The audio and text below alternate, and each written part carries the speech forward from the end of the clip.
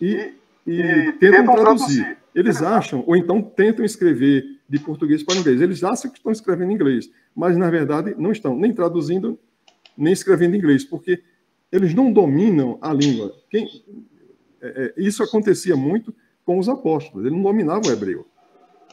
Bom, para terminar, é, eu acho que não tenho mais nada a falar, não. Era só isso que eu queria colocar. Muito obrigado.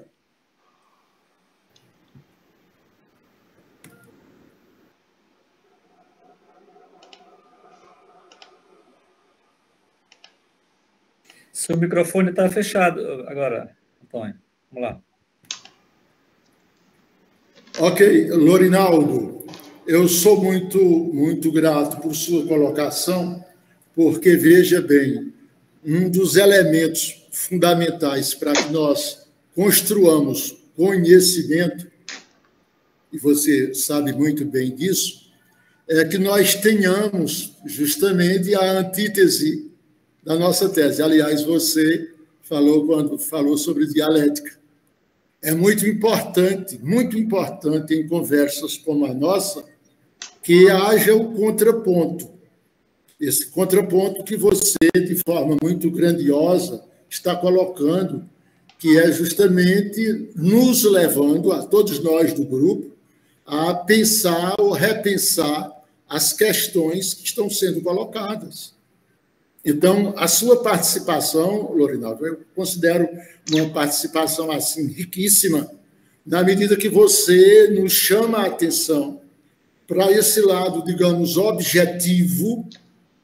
Vamos tratar, embora que nós consideramos outras questões também objetivas, mas você, de forma muito objetiva, com a sua mentalidade, com o seu nível de conhecimento que você tem, esse grandioso conhecimento, você nos chama para esse lado de reflexão. E eu penso e eu entendo que o verdadeiro conhecimento é este que vem justamente do confronto, digamos assim, da tese e da antítese, que vai gerar uma síntese.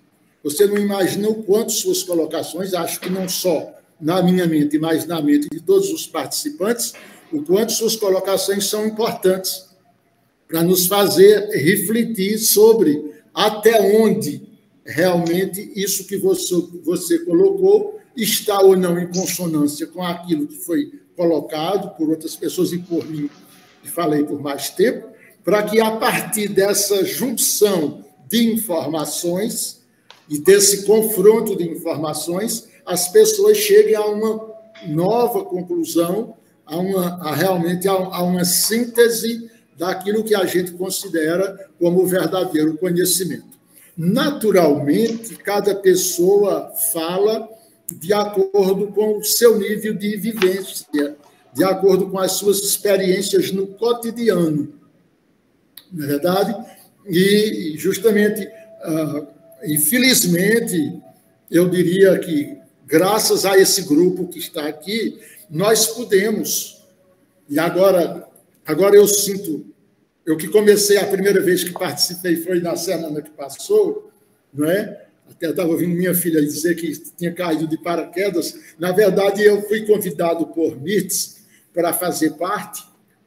E até acho que o grupo foi um pouquinho apressado. Eu chego e me convidaram para conversar um pouco mais na reunião seguinte porque eu, eu entendo que esse grupo ele é muito rico, pelo que eu já ouvi e sei, o grupo é muito rico.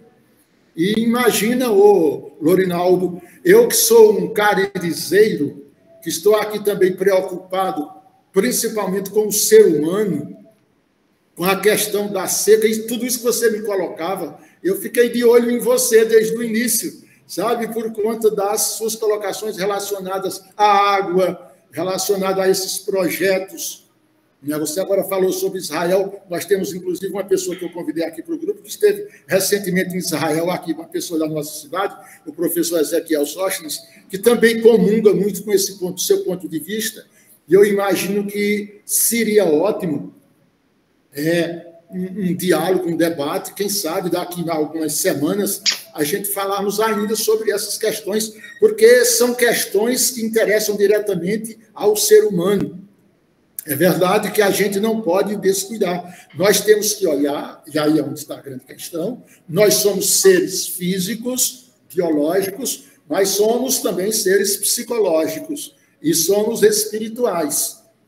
Quer dizer, a realidade da vida demonstra esse lado que nós chamamos de espiritual, este alto nível vibracional que está no ser humano, na mente humana, que revela vibrações muito mais profundas, muito mais sutis do que a simples vibração material. Então, a riqueza deste grupo, a grandeza deste grupo, está justamente em termos essas pessoas que têm uma tendência, vamos usar o termo comum, essa tendência mais espiritualista, mas também a tendência mais racionalista ou mais materialista, não sei se o termo adequado seria por aí, porque é desse confronto, no bom sentido, das ideias, que nós iremos nos enriquecendo. Quer dizer, e não é à toa que Lorinaldo Bezerra da Nóbrega, família que eu gosto de estudar, porque eu sou apaixonadíssimo por genealogia, e, né, e a família Bezerra, a família Nóbrega. A Bezerra, essa tem uma aproximação conosco, né? quando eu falo no, nos avós, decavós, etc., etc., eu falo com muito entusiasmo. Vocês devem ter notado isso quando eu me referi aos, aos nossos decavós, porque eu tenho, por exemplo, um estudo de genealogia que está ligado, inclusive, ao estudo da reencarnação, que parece não ter nada a ver, mas para mim tem tudo, e eu consegui fazer uma genealogia, por exemplo, dos nossos atuais até a 4 mil anos antes de Cristo. Eu sei, por exemplo, o nome do meu do meu quinquagésimo avô, do meu, sabe, eu, um por um, pessoa por pessoa. Quer dizer, uma genealogia raríssima. Por quê? Porque eu entendo que sem esse acervo racional de informações, é, Lorinaldo, nós não, não iremos muito à frente, não. O mundo precisa de mentalidades como a sua, essa mentalidade preparada para o cotidiano, para enfrentar as durezas do cotidiano. Mas aí é onde está, nós precisamos inserir neste contexto as informações de ordem espiritual, porque são elas que justamente complementam a, o entendimento a respeito do nosso destino. Então, meu querido irmão, eu sou muito grato. Digo que eu acho que é essencial que em conversas como a nossa, essas pessoas, no seu nível, com seu gabarito, possam colocar, contestar aquilo que é colocado, para que a gente reflita. Será que nós não estamos perdidos um pouquinho nos devaneios, nos sonhos, nas fantasias, né? que às vezes a espiritualidade nos induz? Será que não é por aí? Então, é, eu digo isso até porque eu sou um espírito um tanto cético e todo, tudo aquilo que eu afirmo só passo a afirmar depois de reiteradas observações, reiteradas análises, para que a gente então tenha certeza de que está falando, pelo menos o que no nosso nível a gente entende ser a realidade. Então, quer dizer que estou muito feliz com suas colocações. Eu gostaria que esse debate fosse, esse debate, essa conversa fosse bem extensa, mas não talvez no outro momento, para que a gente nós aprofundássemos as questões que você colocou tão bem, para que a gente possa realmente chegar a uma conclusão realmente sobre o destino. É porque você realmente coloca de uma forma que eu, eu compreendo e aceito. Realmente o nosso destino é o resultado do nosso jeito de ser. O acaso não existe. Né? Eu continuo afirmando isso: acaso não existe. Lorinaldo não foi à toa para Brasília fazer o seu curso lá, nem está aqui lutando por esses objetivos grandiosos em favor de uma comunidade, lutando inclusive contra adversidades políticas como você enfrenta, não é à toa, é porque o seu papel na construção desse universo, o seu destino é contribuir nesse momento para o bem-estar, para a grandeza de uma comunidade que precisa de água, que precisa de elementos materiais que tragam, no mínimo, a possibilidade de uma sobrevivência humanizada, sadia, feliz, porque esse é o papel, inclusive, dos engenheiros nesse grande contexto histórico e geográfico que nós estamos vivendo. Tá, meu irmão. Muito obrigado, muito obrigado e estamos continuando disponíveis para as conversas. Né? Não, estou, não estou encerrando a nossa conversa, estou muito obrigado por... abertura para que a gente continue.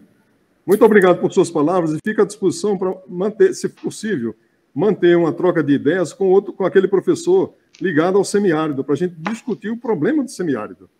Ótimo, muito e, inclusive, as, as questões filosóficas e religiosas que permeiam o assunto. Agradeço. Obrigado. Ok. Elton, Elton Rabelo. Ah. É teu colega, Julimar? Isso, é da Escola de Música. Pode deixar entrar. Então, vamos receber agora o Julimar. Boa noite, Julimar. Jornalista Julimar, que já levantou a mão.